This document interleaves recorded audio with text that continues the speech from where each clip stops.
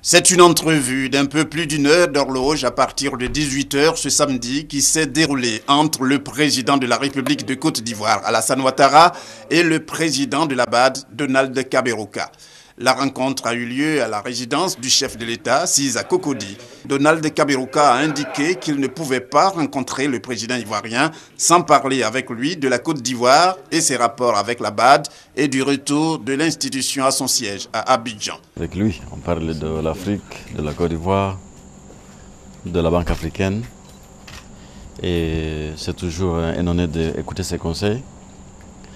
On a parlé d'abord de la renaissance de l'économie ivoirienne. je voudrais le féliciter avec son gouvernement pour le travail accompli euh, depuis euh, quelques mois. Euh, il est évident que la Côte d'Ivoire est de retour. Et comme partenaire de la Banque de la Côte d'Ivoire, pays siège de la banque, il est de mon devoir de voir dans quelle mesure la Banque africaine peut accompagner cette renaissance euh, de ce pays. Aussi, le président de la BAD s'est-il voulu précis pour ce qui est du retour effectif de la Banque africaine de développement à son siège.